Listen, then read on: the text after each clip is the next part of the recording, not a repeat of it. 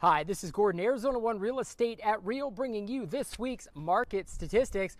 Looking at the stats this week, we are actually have the same amount of active homes on the market that we did last month, and we actually have the same amount of buyers under contract that we did last month. So we are in a little bit of a flat market, an interesting market. We actually are way below where we should be in supply, which is the amount of homes for sale, but demand is also down. So it's making for a very interesting market.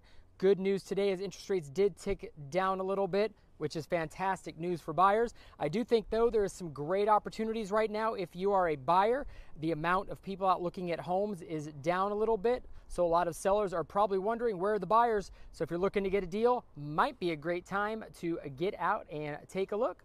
Enjoy this week's market statistics.